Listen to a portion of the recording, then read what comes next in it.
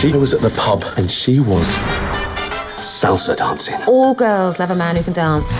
You could dance. Get of fire in my heels. Oh, feet of flames. If you really like this girl, salsa your way in.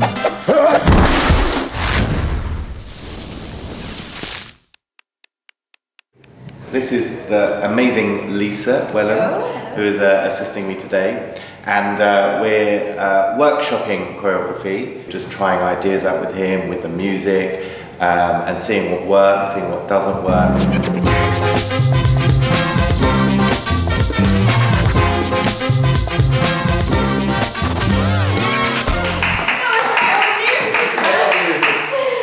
Put a smile on my face there. That's what I put a smile on my face. Yeah, good.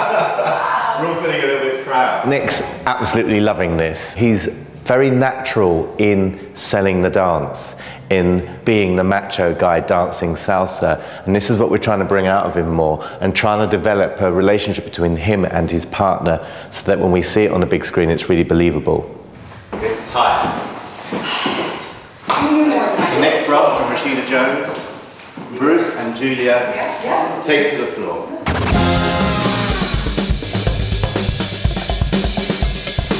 Of course, it's not clean, it's not perfect yet, but they are getting through it, and that's very important. Now turn, two, three, five, six. seven. Uh, uh.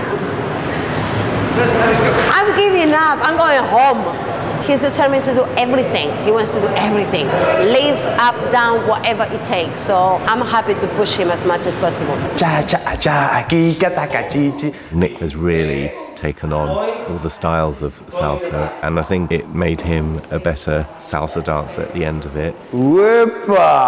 He is getting it. He is actually doing it now. And I think he feels that. I think he can see it. His body's actually moving like a salsa dancer now.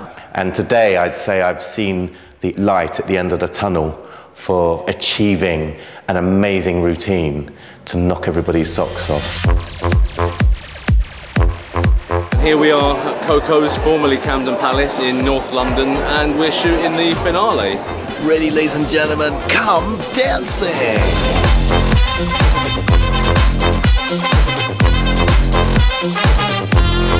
He did his first routine and everybody went, wow, he actually can dance.